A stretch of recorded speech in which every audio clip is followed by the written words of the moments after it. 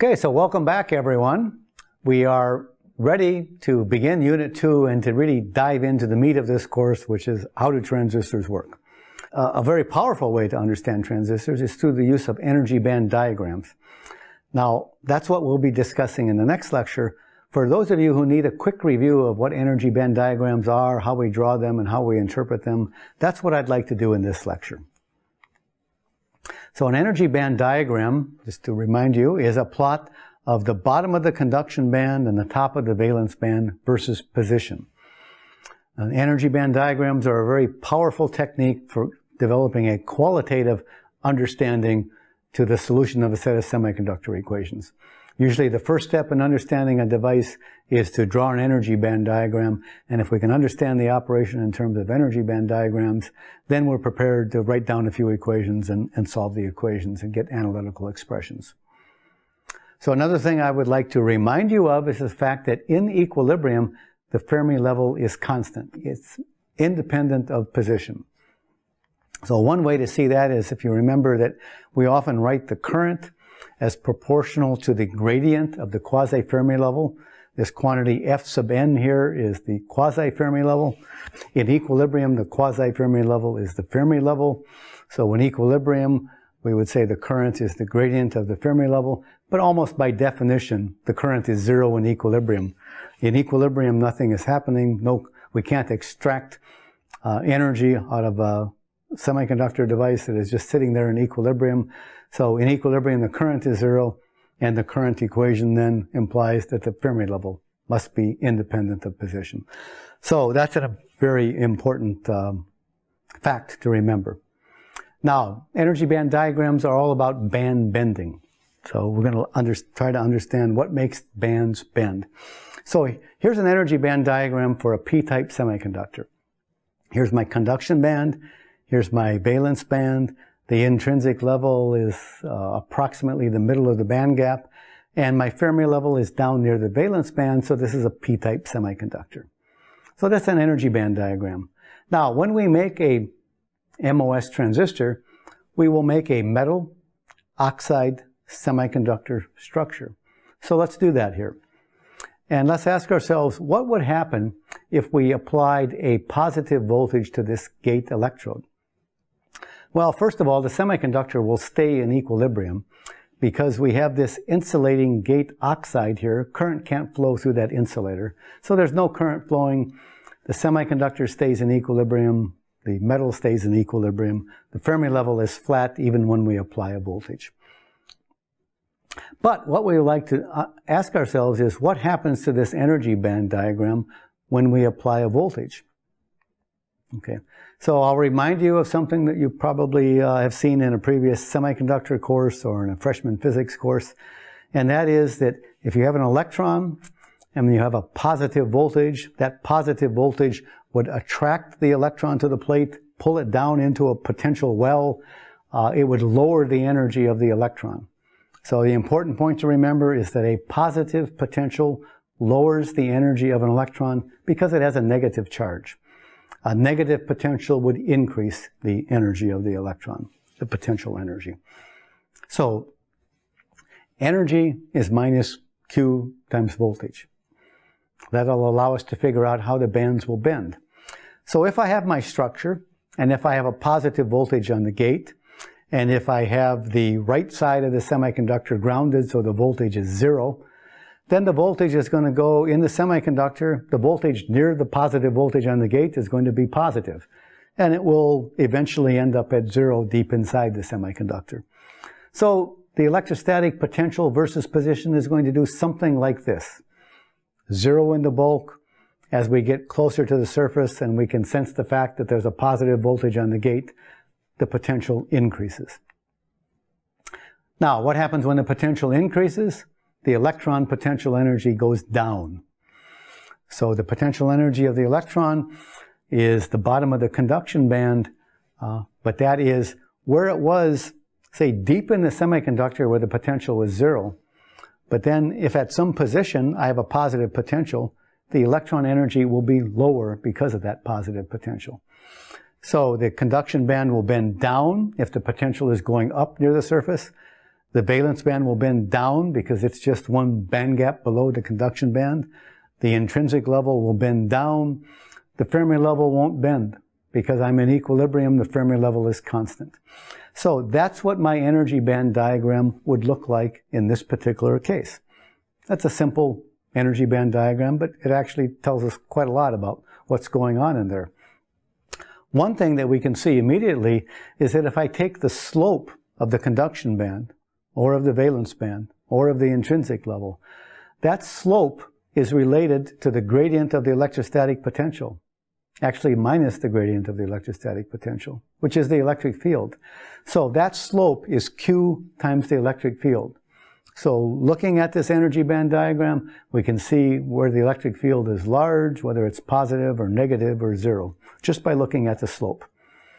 Now, we also know that the electron density is related to the distance between the Fermi level and the intrinsic level. If the Fermi level is above the intrinsic level, we have a lot of electrons.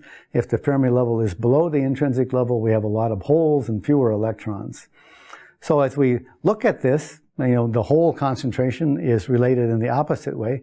The further below the, the uh, intrinsic level the Fermi level is, the more holes that we have. So we can look on a band diagram like this and we can see that there are a lot of holes in the bulk and there are many more electrons near the surface because the Fermi level is above the intrinsic level near the surface. So we can sketch out the electron profiles as well. So the first step in thinking about a device would be to draw its energy band diagram. If we're drawing an energy band diagram in equilibrium, we'll have a Fermi level that's independent of position, and then we need to deduce how the bands bend. The second part of using energy band diagrams is to read the energy band diagrams and extract some useful information from it.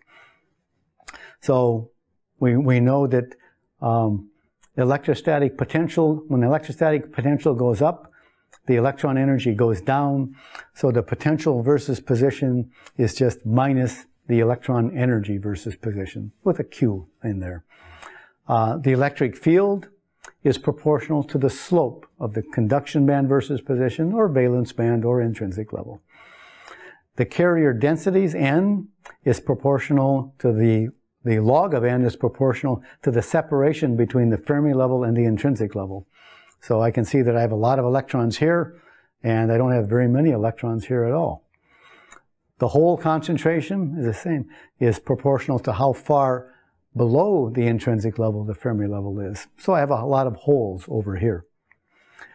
Um, and if I want the charge density, I can remember the Poisson equation says that divergence D is equal to space charge density.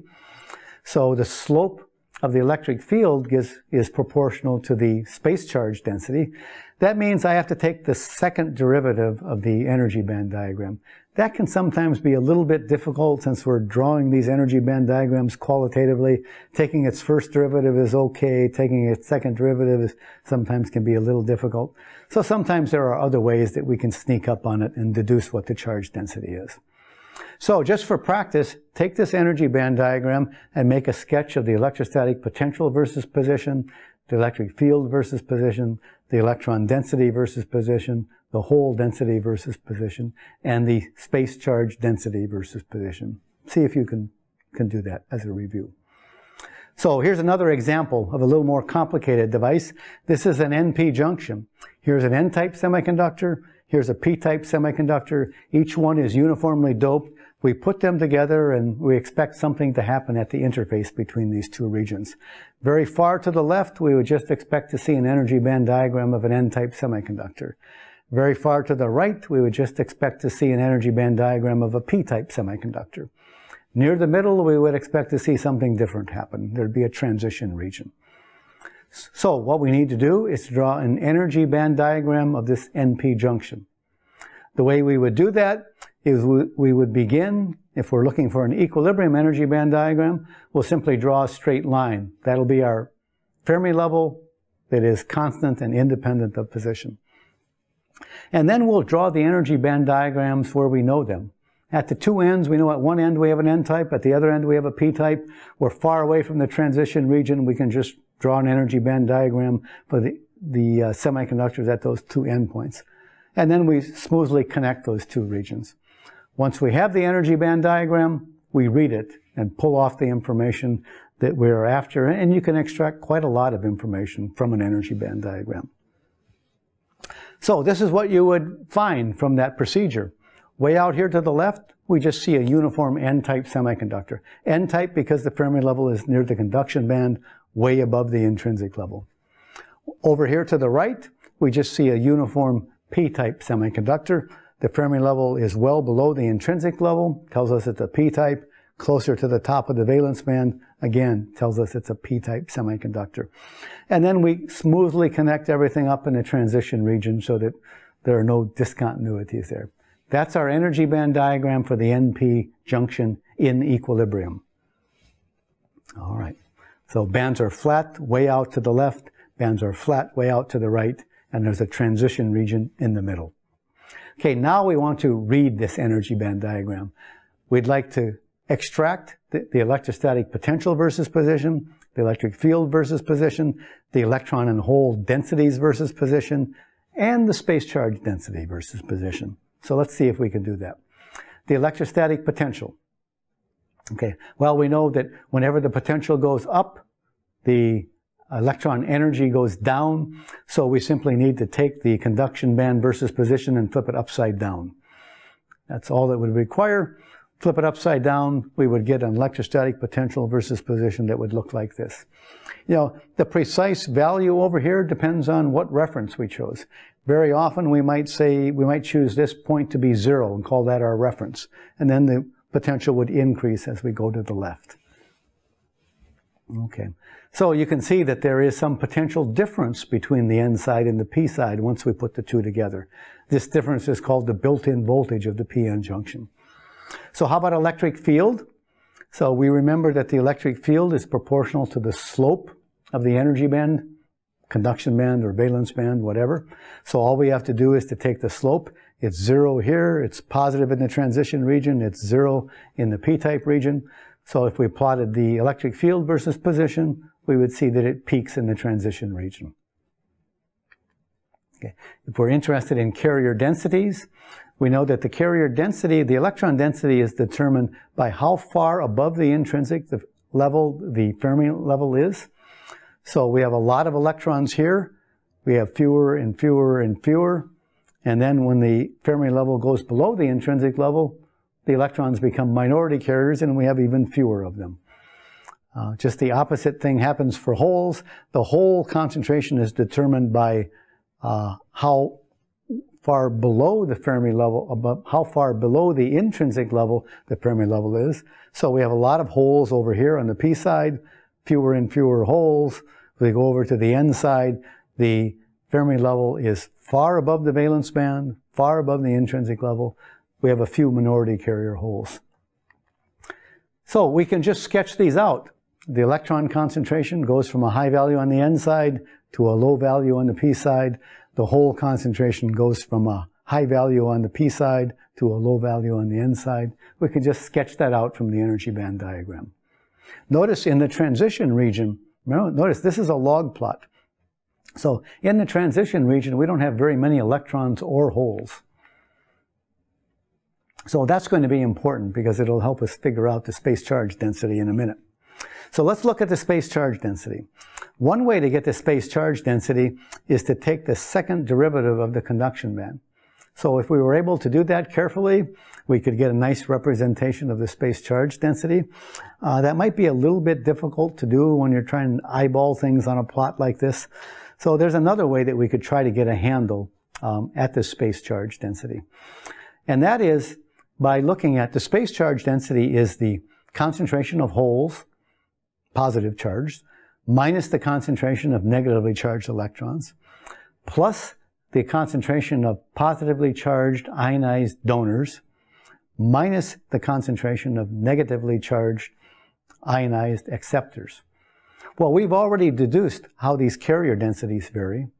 We know that on the left side we have a uniform concentration of N-type dopants. On the right side we have a uniform concentration of P-type dopants. And we showed that in the middle region here, we don't have very many electrons or holes. We only have ionized dopants. So that allows us to sketch out the space charge density. On the left side of the transition, we mostly just have ionized donors, positively charged, not many electrons or holes to worry about. On the p side of the, of the junction, we mostly have ionized acceptors, which are negatively charged, and not many electrons or holes to worry about. We call that a depletion region. Uh, once we get deep into the semiconductor on each side, we have a neutral semiconductor where we have an equal number of negatively charged electrons and positively charged donors, and the net charge is zero. So we can deduce the space charge density that way if we don't want to try to take a second derivative of the energy band diagram. So just to summarize, these energy band diagrams are very useful for providing a qualitative solution to the semiconductor equations. If we want numerical answers, we would solve these continuity equations for electrons and holes self-consistently with the Poisson equation to account for their charge.